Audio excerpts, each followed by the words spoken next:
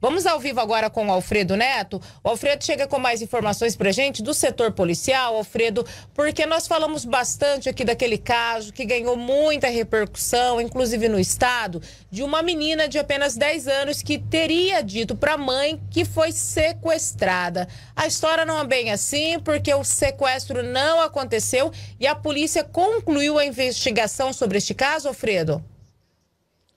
Isso mesmo, Ana. A polícia deu prosseguimento na investigação e concluiu após o laudo do Instituto Médico Odontológico Legal a apontar que não havia tido violência sexual contra a criança. O delegado doutor Matheus Palma, que estava conduzindo a investigação, descartou a versão repassada para a menina e apontou alguns pontos a qual fez ele se convencer de que a história não passou de uma fantasia.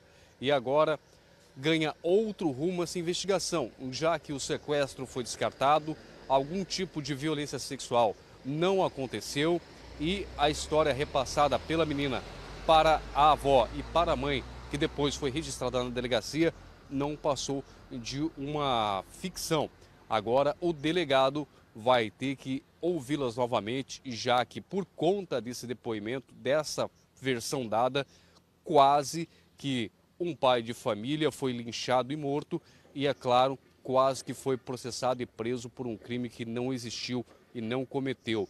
Vamos ouvir um pouquinho o que o doutor Matheus Palma falou em relação a essa investigação e o que ele descobriu no decorrer da investigação, analisando as imagens de circuito interno de alguns locais aqui de Três Lagoas.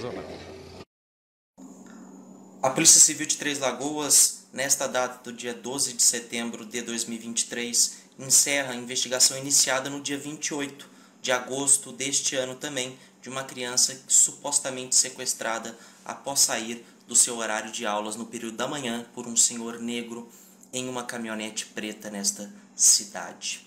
As investigações seguiram-se intensas com a coleta de imagens de segurança, oitiva de testemunhas, realização de exame de corpo de delito e também a oitiva de alguns suspeitos.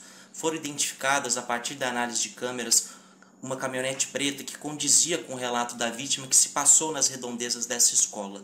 O sujeito que dirigia essa caminhonete foi identificado, assim como também outro que conversou com esse sujeito é neste horário do suposto sequestro. No entanto, nenhum desses dois suspeitos foi identificado pela criança após a realização de reconhecimento fotográfico, assim como também a versão que eles prestaram perante a polícia se compatibilizaram. Portanto, a participação deles encontra-se descartadas. E também, após a análise de câmeras de segurança de uma famosa avenida da cidade, se verificou, se captou imagens da criança seguindo até o centro da cidade, no andar calmo, portando a sua mochila escolar e também de posse de uma garrafinha de água em uma das mãos. E também, após alguns minutos, essa criança retornando do centro da cidade, no andar calmo, é, portando também a sua mochila escolar e de posse de sua garrafinha de água em uma das mãos, em um horário em que Tese estaria assustada, retornando de um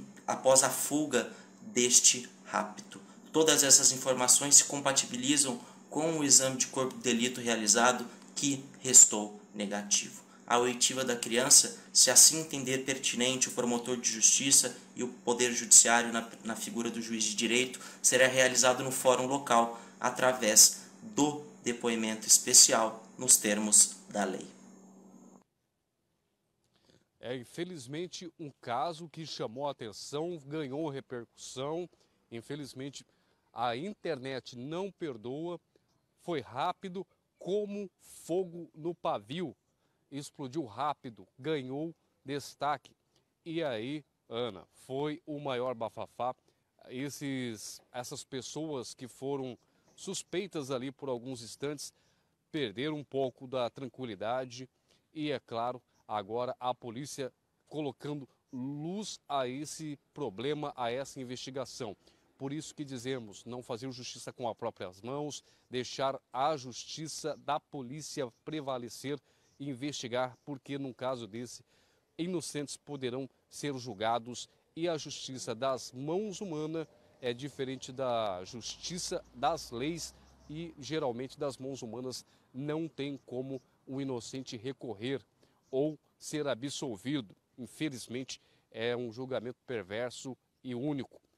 Graças a Deus e rapidamente, com a eficiência da Polícia Civil, esse caso foi investigado e elucidado. Então, naquela versão dada para a Polícia Civil, a polícia conseguiu descartar o rápido, rápido esse que não aconteceu e agora fica por conta do Ministério Público ou da Justiça da Vara Infância e Juventude da, é, recorrer, ouvir novamente né, essa mãe e essa criança ou não. Mas a Polícia Civil concluiu que a história não condiz com os fatos e, infelizmente, a história não passou de uma versão inventada pela criança e esse caso acabou sendo encerrado pela Polícia Civil. Ana.